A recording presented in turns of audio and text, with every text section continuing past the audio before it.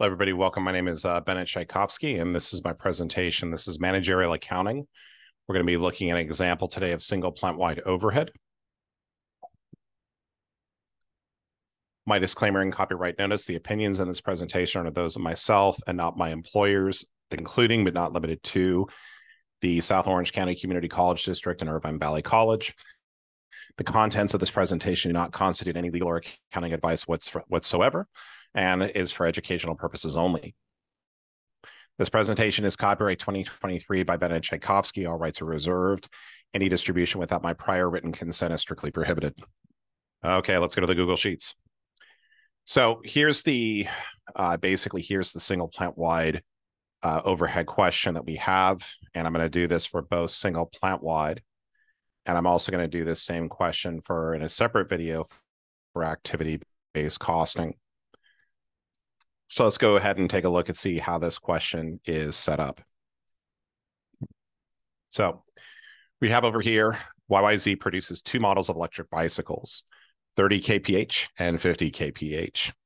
The 30 kph model sells for 3000 while the 50 kph sells for $4,500 per unit.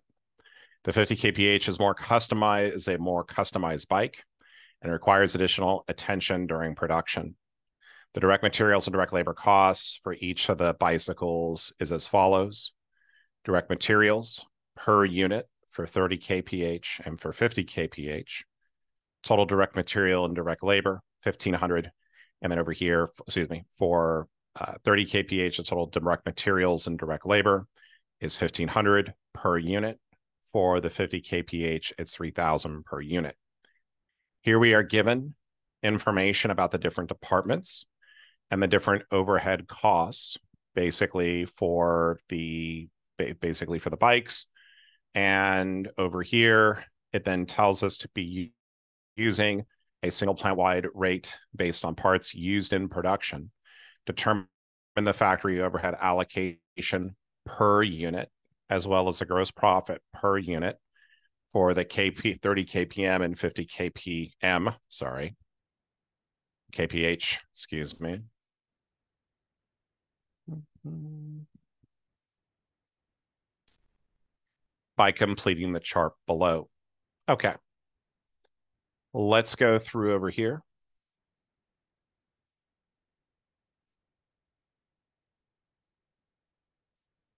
And let's go through and start this video up. So let's start answering the question.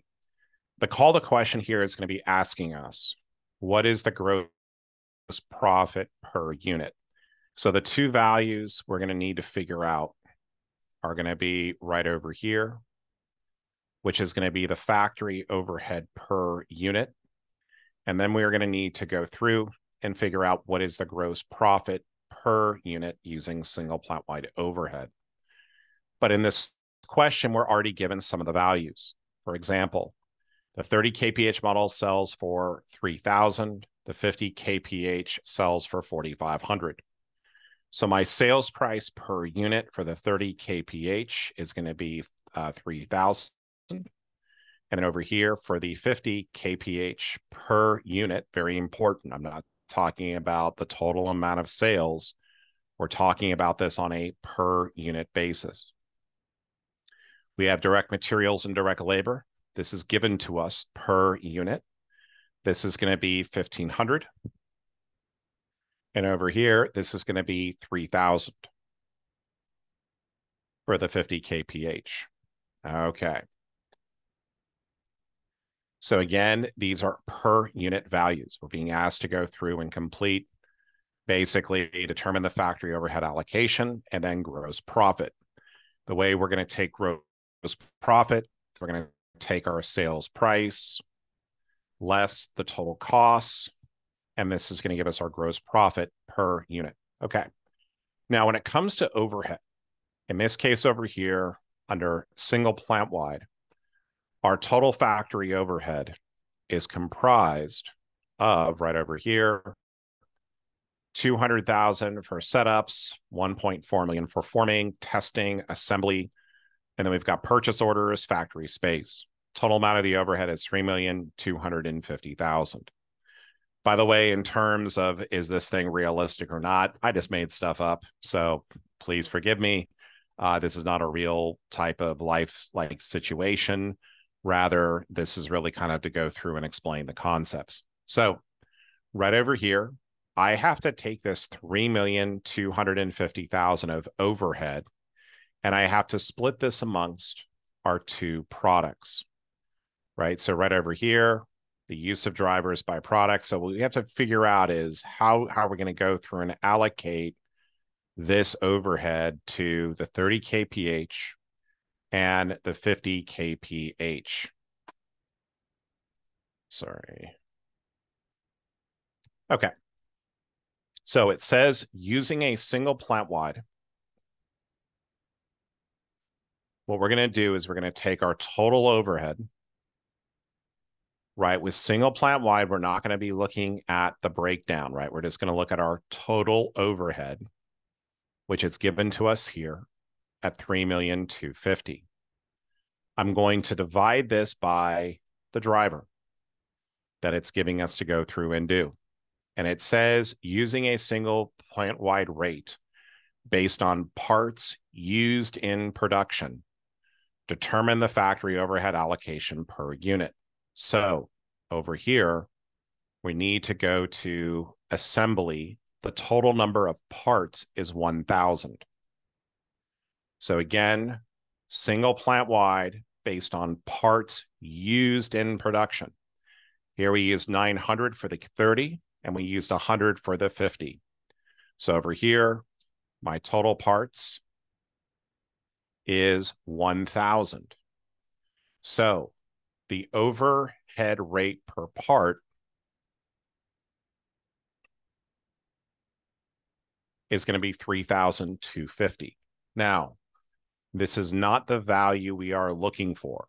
Okay, we're not going to put this down here because this is not what we need to figure out we have to allocate the overhead to 30 kph and 50 kph based on the single plant wide rate. So what we need to figure out is, well, how many parts did each of these use? Well, the total driver here is a thousand parts, which is what we divided this here by. And it's also telling us too that over here, 900 were used for the 30 kph, while 100 were used for the 50 kph. So what I'm going to go through and do is my factory overhead rate per part over here is going to be 3,250. Now, the total overhead allocated is going to be the number of parts, which is my driver, times the factory overhead rate part per part, which is going to be 2,925. Over here, I'm going to go through and do the same thing, and I'm going to get 325,000. This is the overhead I've allocated. Now, very important step, right? We want to take a step back right here. When I add up these two amounts right here, after I've done the allocation, we're going to do this for everything. This equals to 3 million to 50. You have to make sure you've allocated this properly. So again, right over here, the amount that I'm allocating to 30 kph and 50 kph, we only have two products, is going to be because we're allocating it based on parts, is going to be 3 million to 50. Notice the parts over here have to be equal the number in the denominator, right? Over here, once I do the allocation, I'm now going to have to equal the total amount of my overhead. Real important to remember. When you do these questions, there's a lot of ways to go through and check your work. Again, practice will make perfect. Now, this is the amount of overhead that has been allocated.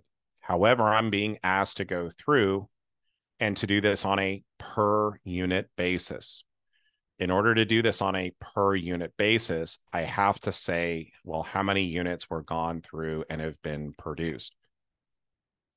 So we have to look over here carefully and let's see if we can find it. Oh, factory space. This is based on units produced.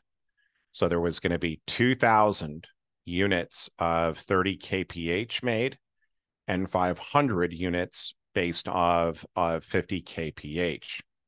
So if I need to come up with a per unit amount, what I'm going to do, and let's just kind of remind ourselves, like whenever you see me do these little things on the side, we have our parts.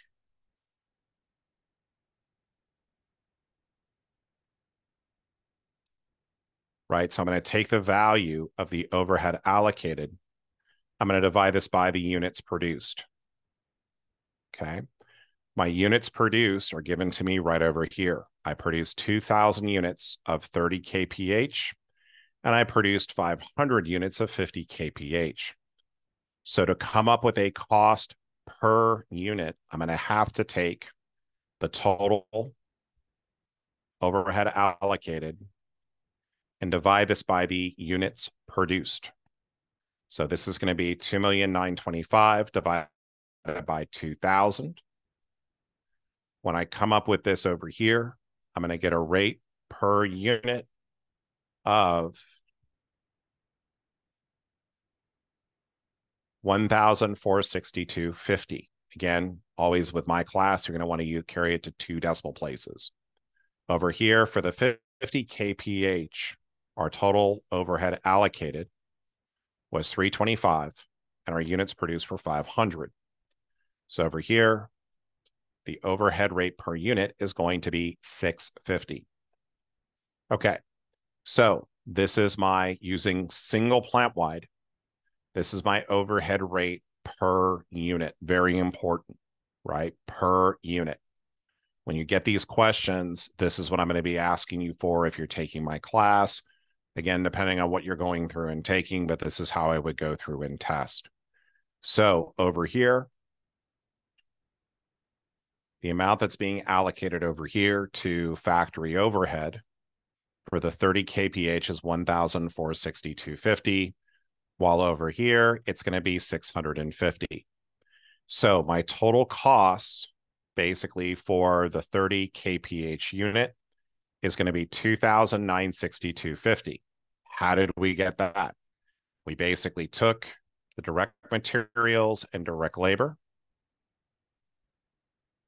we basically added in the factory overhead per unit. And this is going to give us our total costs per unit. So our gross profit over here is going to be the sales price minus the total cost, or roughly $30, $7.50 per unit.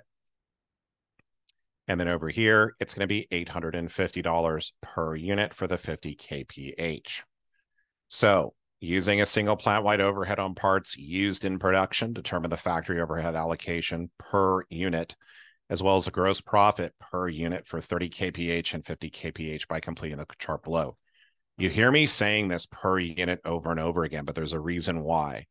I've graded enough exams to know that a lot of students, when they come up with a value, their instant their instant reaction is, oh, let's put this overhead right over here to be 2,925 and that's not the answer because not that's the amount of overhead that was allocated not the overhead value per unit.